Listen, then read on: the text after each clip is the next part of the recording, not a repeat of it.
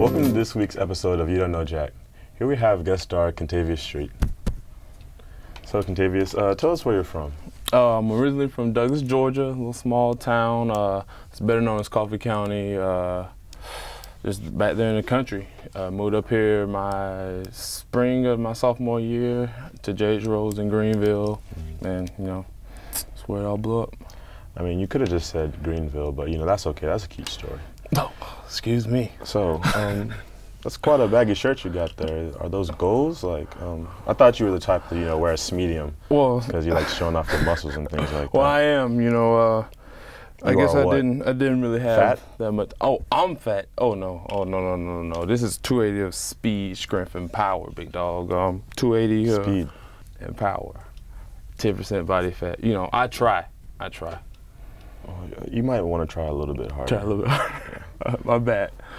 So, um, you know, when you first got here, you always did like the Superman gesture and things like that. Do you really consider yourself a superhero? I try to. Not. It's not a 24/7 job, but when it's called upon, yes, I do consider myself. Who have you saved in your lifetime? Who haven't I saved, or who have I saved? Who have, Have you I saved? Um, like besides the opponents, because you know you saved them from looking bad because Oh.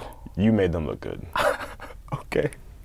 Um, um, it's just got to such a high number now. I lose count. Um, so how does it feel to be a five star? Because you kind of threw that around a lot too. You know. Come on, man. I rarely said anything about my recruitment until the little banquet, and I didn't even say I was a five star. Oh, is that right? I said I was highly recruited because you know, as a famous speaker, as um, Eric Thomas was, Mhm. I just felt like I should give him my backstory, Mhm. And then you know, college being a big challenge when we first got here. Oh yes, yes. So like I should give him my backstory, Mhm. tell him all about that, the Mhm. stresses of camp, Mhm.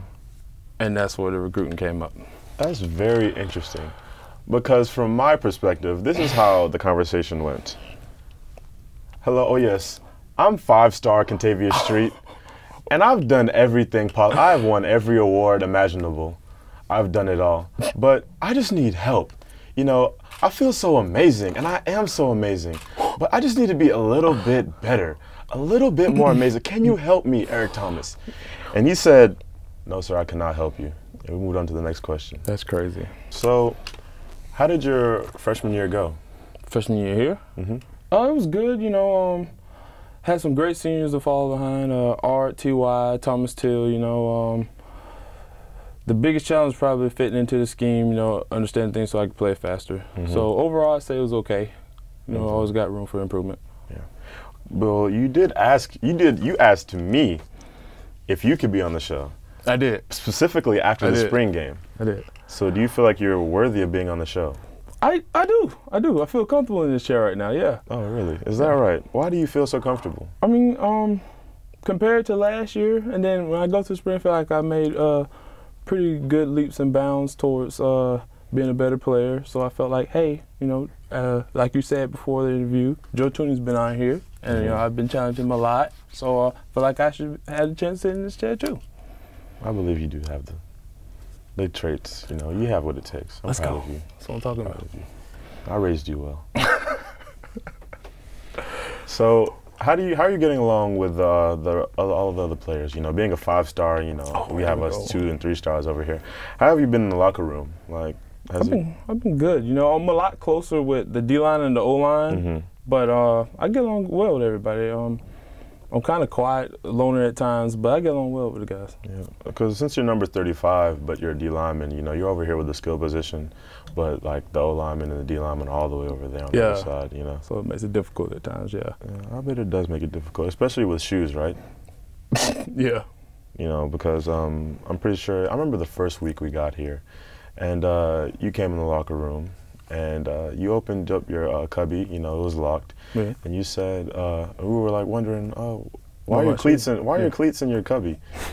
And you said, oh, because I thought you guys were going to steal them. What size shoe do you wear? Uh, 14, 15 at times. 15. You know what size shoe I wear? What's that, like a 10, 12. 12? I will never wear your shoes. I mean, Octavius. I didn't know because I thought y'all were going to be playing freshman pranks and everything, so I just came prepared at the time, you know? Or you thought we were going to steal five star Kentavius Street shoes and sell them on eBay for some profit. That's we what you really thought. No. It's it's okay. You can admit it. You know, we're alive. You can admit it. That's You crazy. I would never think of such a thing from my great teammates such as Jack Tocho. You know, I just came prepared because you know it's a big hoop about everybody pranking the freshmen. So I make sure that I was gonna be a victim.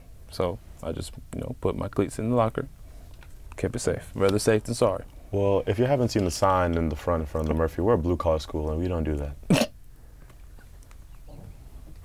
All right. So uh, I know you've made a transition from uh, defensive end to defensive tackle. Are you?